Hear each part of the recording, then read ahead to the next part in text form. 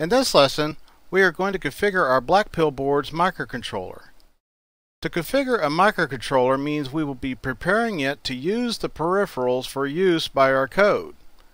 There is actually a whole lot more to the configuration that happens in the background, but thankfully we have ST's Cube MX configuration tool built into the ST IDE to do most of these complex configurations for us based upon some basic information we provide. Some of the basics the configuration tool will require to know is what specific microcontroller are we using? This will be our target. Is the clock going to refer to a internal clock or an external one? How fast is the system clock going to run? Which peripherals do we need to use? Which pins would we prefer they connect to? What clock speeds will these require? What protocol, data size, and other parameters will it require? Will they require any interrupt? Once we have determined what we have, what we need, and where we need it, we will be at a point that we can generate the code and open our project in the IDE so we can begin programming the microcontroller for our needs. Let's go ahead and open up the STM32Cube IDE application.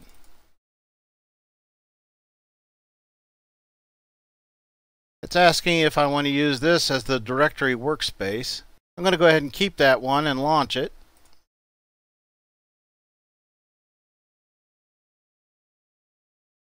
And now here's the IDE. Let's go up here in the upper left corner there's a little window with a plus sign up there and an arrow pointing down next to it. Don't click on the window click on the arrow. When you click on the arrow you should see this list here. We want to click on STM32 project.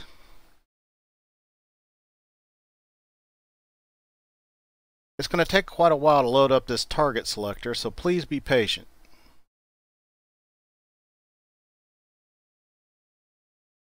Again, just please wait. It's not done yet.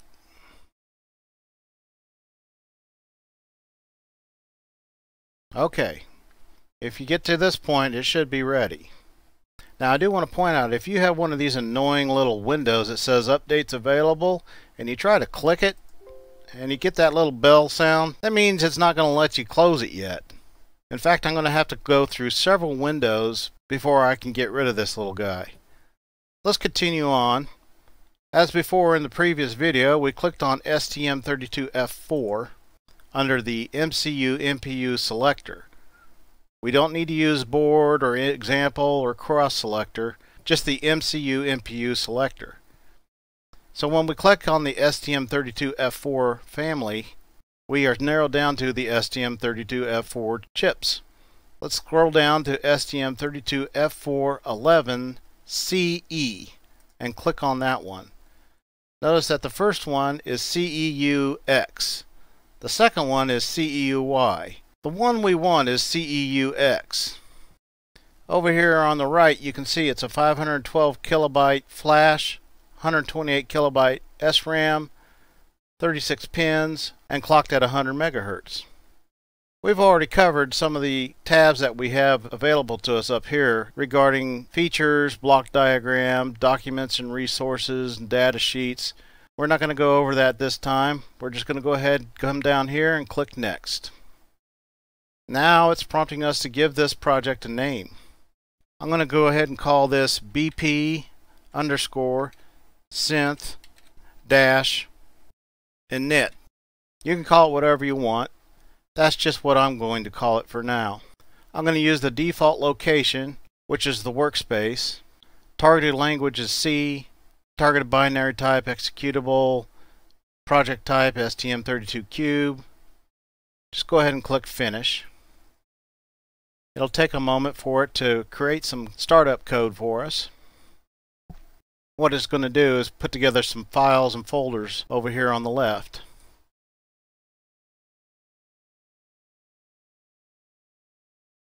And this is like a basic bare bones project already put together for us to use. So when I finally get to this screen, I can go ahead and go down here this annoying little updates available box and click that sucker out of here.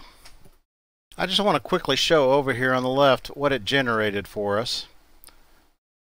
Click on core, click on source. Here's the main.c file. Double click that.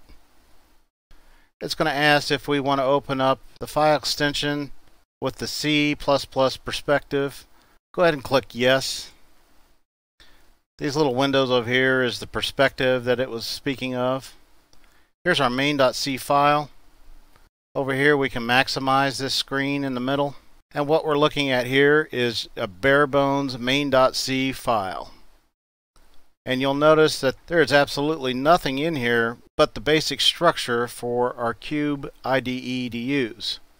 You'll notice that we have no includes, we have no type defs, we have no defines, we have no macros, we have no private variables. They're not in here. But when we finalize the configuration, it will fill in a lot of the code for us. That's what's so great about this configuration tool. For now, I'm going to maximize this screen. The very first thing you need to configure is the clock. Over here on System Core, RCC is one of the windows where we set up our clock. You'll notice up here it says High Speed Clock HSE and it's disabled. I want to go ahead and click on this tab up here. It's Clock Configuration. I'm going to zoom in on this. And this is how we set up our clock in a graphical user interface here. Right now it's set up for high speed internal. The high speed internal clock runs about 16 megahertz and it will work fine for most cases, but our Blackpill board has a built-in crystal clock that can make our timing a lot more accurate. You'll notice HSI here is selected and we cannot select HSE which is high speed external. Let's go back to RCC mode, click on high speed clock HSE and select crystal ceramic resonator. You'll notice that over here a couple pins have turned green. These are the pins our crystal is connected to. Let's go back to clock configuration. Now we can see we can click on HSE. Now we're going to go over here to H clock and change this to 100 megahertz. Hit enter. Then a little box like this should show up. Click OK. And a strange thing happens. This goes back to high speed internal selection again, but it's showing the 100 megahertz. Make sure that you click on high speed external again and you'll see these boxes turn red just click back on here, select that number in the H clock box, and enter 100 megahertz again. All of this should stay the same. There is one thing we may change here in a few minutes, and that's the PLL I2S clock. Here where it says X192, we will probably change that to X194. What this is is for our I2S interface clock. But we'll get back to that. Go back to the pins and configuration. The next peripheral we want to set up is inside Connectivity and click on USART2. In Mode, click Asynchronous. In Parameter Settings, you'll see a baud rate. Click on that select the whole number and enter 31250. So now we have set the baud rate to 31,250 bits per second. The rest of these parameters can stay as they are. Now we need to go to NVIC settings and where it says USART Global Interrupt, we want to enable it. Now we can see we have two pins over here that have turned green. One is USART receive, the other is USART2 transmit. May want to go ahead and point out right now the RCC has a warning that came up. Has gone red around a choice called audio clock input. The reason why is because we enabled the USART2 pins. If you click on this USART2 transmit, you will see the I2S clock in selection right here.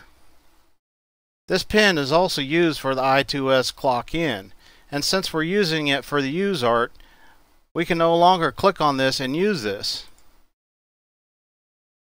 If I were to disable this, this problem would go away, but we do not need to use the I2S clock in. So we can go ahead and ignore this warning. Let's go ahead and configure our I2S interface. Here under Multimedia is I2S1. Now I want you to pay attention up here. SPI1 is going to gray out on us the moment that we select I2S1 and enable it. So go ahead and click I2S1. Up here where it says disable, click and change it to half duplex master. And like I said, SPI1 went gray. That's because I2S1 and SPI1 are pretty much one and the same. Under parameter settings, click on selected audio frequency. Change it to 32 kilohertz. If it doesn't show anything, try and click it again. Now your settings should show Mode Master Transmit, I2S Philips, 16 bits data on 16 bits frame, 32 kilohertz, and when we get to this part, it says 32.106 kilohertz. And it shows an error between of 0.33%. We can make this percentage even lower if we go to our clock configuration, change this 192 to 193, and see what it changes to. Now it's down to 0.16. Let's change it again.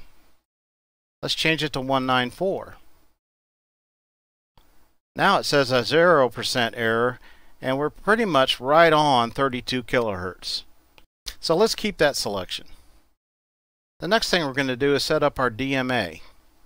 Click on DMA settings, and you'll notice there's nothing in here. Down here at the bottom is an Add button. Click on Add, then under this Select window, select SPI1TX. This automatically fills in the DMA stream 2, memory to peripheral, priority low. Down here at DMA request settings, change mode from normal to circular. Click use FIFO, which is first in, first out. Threshold should say full. Our data width should be a half word, which means 16 bits. The other one we will also change to half word.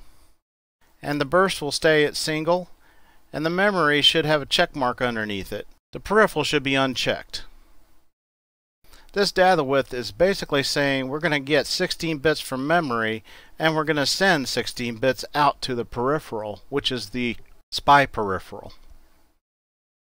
Next, we just want to make sure on the NVIC settings that the DMA Stream 2 global interrupt is checked.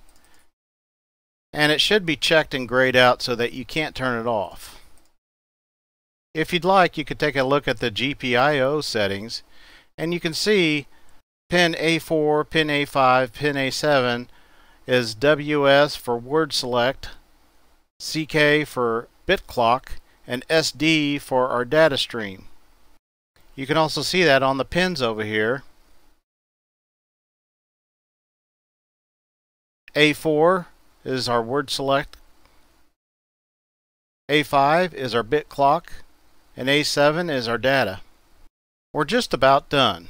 There is a couple more settings we need to take a look at here.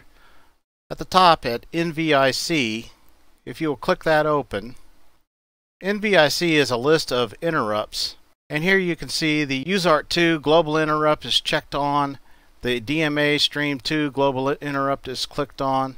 We also have something up here called System Tick Timer, which we will discuss later on when we get into the Arpeggiator, but I thought I'd go ahead and mention it up here. Under Code Generation, we find these three again. SysTick Timer, USART2 Global Interrupt, and DMA Stream 2 Global Interrupt. And you'll see over here we have checked off as a call HAL handler. The handler is going to be some code we use these interrupts with. Let's go back to the main NVIC tab. And by the way, NVIC stands for Nested Vectored Interrupt Controller. That's another type of peripheral inside the ST microcontroller that handles these interrupts for us. Under the NVIC tab, you can see you can click on the interrupts independently. Click on USART2 Global Interrupt. Down here at the bottom is a preemption priority selection. Make sure that the USART is set at 0. Click on DMA2 Stream and under preemption priority, change that to 13. What we're doing is we're lowering the priority of the DMA stream because that sucker is going to constantly run and it's going to hog up all of the core's time if we don't lower the priority. This is our USART interrupt and when MIDI signals come in we need to be able to capture them as quickly as possible. If the DMA stream isn't letting us capture the signal we won't be able to play any notes.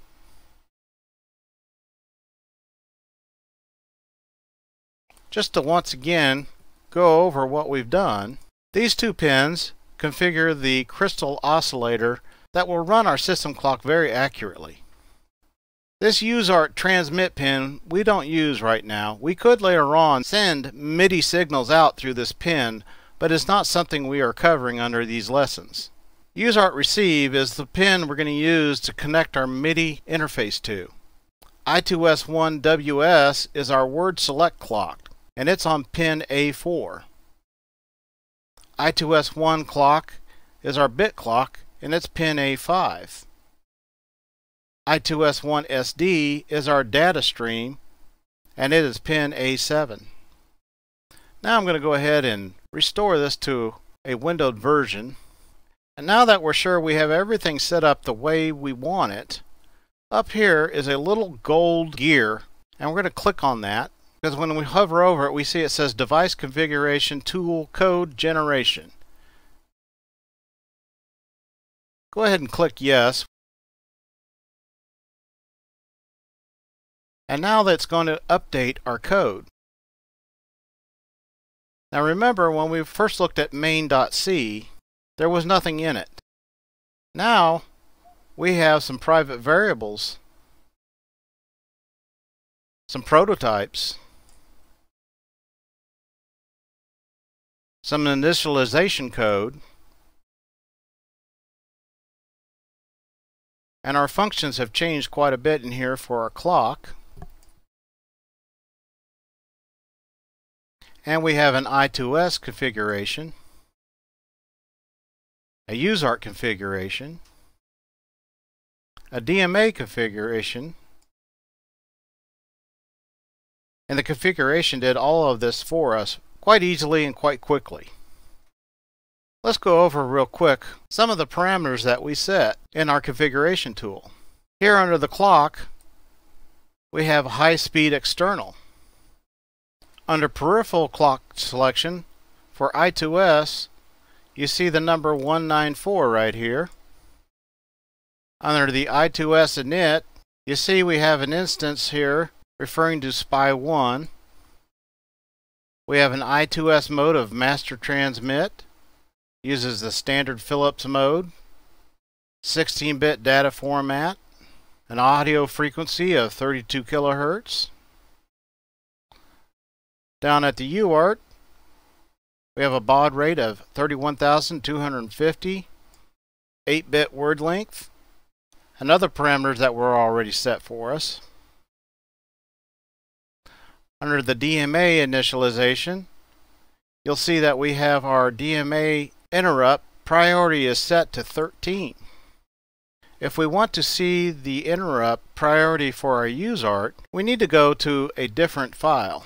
Over here is the STM32F4 HAL MSP file. Go ahead and scroll on down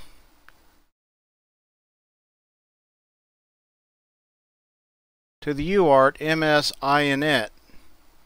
And down here is the priority. We set the priority to zero. So that covers the basics of how to use the configuration tool to get all the complex startup code and collection of folders and files put together for you in a way that you can immediately start going into programming your project. In the next lesson, we're going to go over what is called a text editor. What I use is called Atom. And it's going to let us go over the code without having to go into all of this between folders up here at the top or on the side here. Instead, Atom will let us have several different views at one time. So I'll see you in the next lesson.